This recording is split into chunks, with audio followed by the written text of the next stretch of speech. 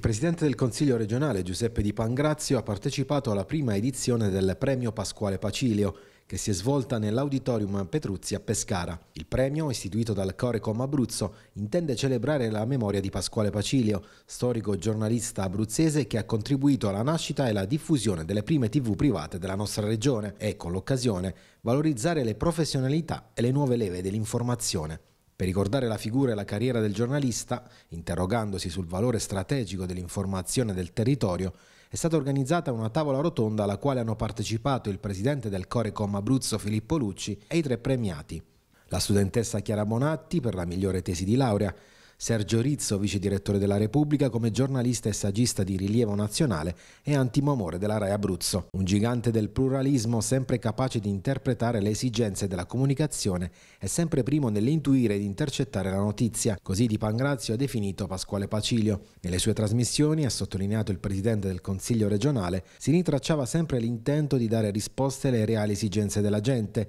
Inoltre era anche uno straordinario anchorman che conduceva con sapienza e un pizzico di ironia le sue trasmissioni di politica e costume.